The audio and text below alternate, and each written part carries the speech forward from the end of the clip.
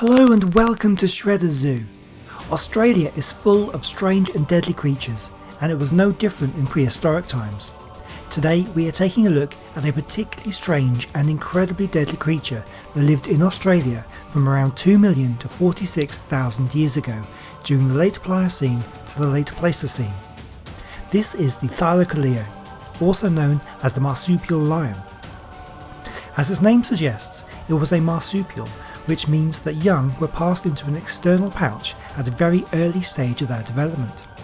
Development would continue inside the pouch until the young were ready to walk about for themselves. However, the other part of its name is a bit misleading, as Thylacoleo was not related to existing lions today. In fact, it was much closer related to koalas and wombats. The marsupial lion is the largest meat-eating mammal known to have ever existed in Australia, and one of the largest marsupial carnivores from anywhere in the world. Individuals ranged up to around 75 centimeters high at the shoulder and about 150 centimeters from head to tail. They would have been much smaller than they are depicted here in ARK. Measurements taken from a number of specimens show they averaged around 100 to 130 kilos, that's around 220 to 290 pounds, although individuals heavier than 160 kilos might not have been uncommon. Fully grown, Thylacoleo would have been close to the same size as a modern jaguar. Despite its carnivorous nature, it is thought that it evolved from a herbivore. This could be the reason for the Thylacoleo's unique teeth. Carnivores usually have enlarged, sharp canine teeth. That's the pointed teeth either side of the front or incisor teeth. This can be seen taken to the extreme by the saber-toothed cat. But Thylacoleo had short, stubby canine teeth that were not very sharp and they served very little purpose. But what it did have was large rodent-like incisor teeth. Even more fearsome were their hyper-specialised carnassial teeth. Carnassials are paired upper and lower teeth, either molars or premolars and molars, modified in such a way as to allow enlarged and often self-sharpening edges to pass by each other in a shearing manner. These teeth were taken to the extremes in the Thylacoleo. The premolars essentially became laterally compressed blades, more high-ridged and pointed at the front, yet still sharp all the way down their length. The dentation of the Thylacoleo is so unlike anything alive today, it confused paleontologists. Some thought it was a herbivore, using these unusual teeth to slice into tough vegetation, or maybe nuts and fruits. But the lack of any grinding teeth suggests that plant matter was not a part of this animal's diet. Instead, the large cheek teeth were used for slicing flesh and bone. Another surprising feature of the jaws of the Thylacoleo was just how strong they were. The Thylacoleo, a predator that was less than 4 feet long and probably weighed only 220 pounds, had the bite force equivalent to a modern lion twice its size. Pound for pound, the Thylacoleo had the strongest bite of any mammal species, living or extinct. But how could it have such a strong bite? The answer might have to do with the brain and skull differences between marsupials and placental mammals. Many carnivores have a relatively large brain size in comparison with marsupials, lessening the amount of bone they can devote to massive muscle attachments to enhance bite force.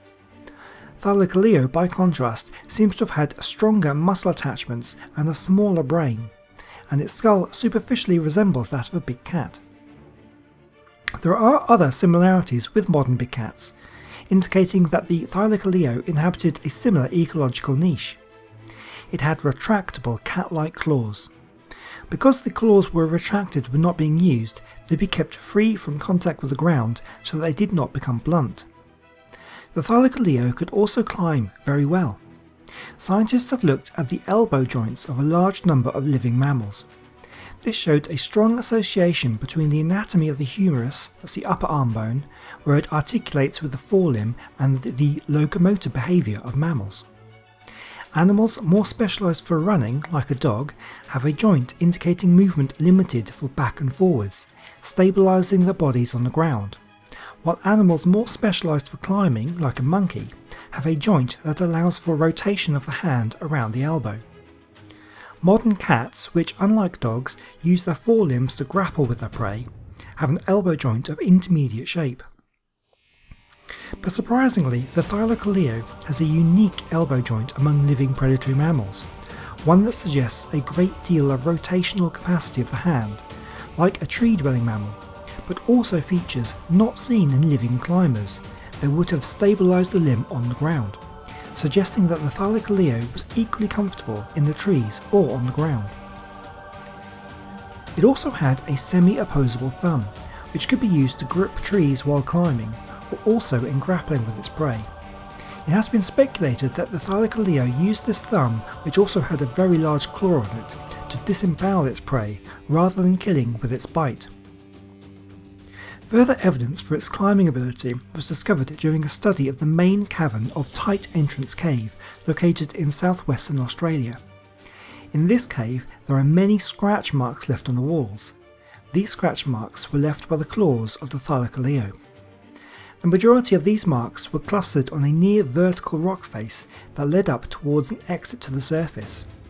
That exit may be blocked today, but clearly this way out of the cave was the preferred route for many marsupial lions, rather than using a longer path with a lesser gradient. This suggests that these animals were confident and assured climbers and remarkably agile. In addition, the study indicates that the scratches were mostly made by juveniles, this suggests that Thylacoleo may have reared their young inside caves. In fact, many remains have been found inside caves.